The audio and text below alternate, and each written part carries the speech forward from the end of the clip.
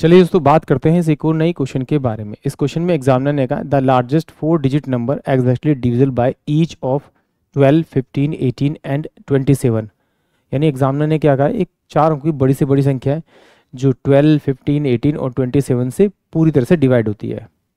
तो देखिए इसको करने के दो तरीके। एक तरीका तो ये है कि आप इसका एलसीएम निकाल दीजिए और एलसीएम से आ, चार डिजिट की बड़े से बड़े नंबर यानी कि उसको डिवाइड कीजिए। और जो रिमाइंडर बचे उसको माइनस कर दीजिए तो आपको, आपका आंसर मिल जाएगा। और एक दूसरा तरीका ये है कि आप इसे डायरेक्ट सोल्व कर सकते हैं। कैसे? ज़रा देखिए। ये मैं अगर इसका फैक्टर तोड़ूँ तो मेरे पास में कितना आएगा? चार इंटू में तीन आएगा। इसका फैक्टर तोड़ तो तीन इंटू में पाँच आएगा। इसका फैक्टर तोड़ तो नौ इंटू में दो आएगा। इसका फैक्टर तोड़ तो मेरे नौ इंटू में तीन आएगा। यानी कि जो ये ऑप्शन में नंबर दे रखे हैं वो पहली तो बात, उनके जो लास्ट के दो नंबर है, वो चार से डिविजल होने चाहिए। क्योंकि चार की प्रॉपर्टी कहती है, वो नंबर पूरा पूरा चार से जब डिविजल होगा, जब उसके लास्ट के दो नंबर पूरे पूरे चार से डिविजल होंगे। ये मेरा चार से डिविजल नहीं है, इसका मतलब ये तो हो नहीं सकता। ये मेरा चार से डिविजल नहीं, ये इसका हो नहीं सकता। ये चार से डिविजल यानी कि या तो ऑप्शन बी होगा या फिर ऑप्शन मेरे पास में डी इस क्वेश्चन का करेक्ट होगा। अब एक प्रॉपर्टी और है मेरे पास में, वो प्रॉपर्टी क्या है? नाइन की। नाइन की प्रॉपर्टी कहती है, सभी नंबरों को जोड़ दीजिए, या तो उसका सम नाइन आना चाहिए नाइन के मल्टीपल में आना चाहिए। तो इसको जोड़ूँगा तो नौ नौ, अट्ठारह, यानी कि एटीन ये नाइन के मल्टीपल में आ रही है। यानी कि इसको जोड़ूँगा तो नाइन ही आएगा मेरे पास में। ये नौ नौ, अट्ठारह अट्ठारह छः चौबीस, इन दोनों को जोड़ूँगा तो छः आ रहा है। यानी कि ये तो हो नहीं सकता। ऑप्शन बी इस क्वेश्चन के लिए करेक्ट होगा। यानी कि आप इसको इस तरह से सॉल्व कर सकते हैं। अब चलिए आइए, ज़रा देखते हैं इसको एलसीएम की तरीके से।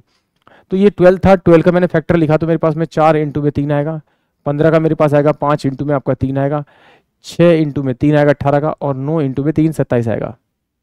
तो मैंने क्या किया, इसमें देखो ये तीन है, ये तीन है, ये तीन है और इसमें आपका कितना आपका, ये आपका नौ। तो नौ मेरे पास एक बार आएगा और तीन मेरे पास एक बार आ जाएगा। फिर ये कितना आपका, ये पाँच मेरे पास में एक बार आएगा और पाँच एक बार आएगा मेरे पास में और ये आपका चार एक बार आ जाएगा आपका। तो पाँच चौक बीस और बीस दिया साठ साठ इंटू में नौ तो कितना हो जाएगा चौवन, पाँच सौ चालीस। यानी कि पाँच सौ चालीस क्या है इनका? लघुत्तम आया। तो बड़ी से बड़ी जो संख्या होती है मेरी, चार अंकों की, वो ये होती है फोर नाइन। इसको डिवाइड कर दीजिए पाँच सौ चालीस से। तो किस पे जाएगा? एक पे जाएगा। तो ये कितना आएगा आपका? पाँच सौ चालीस।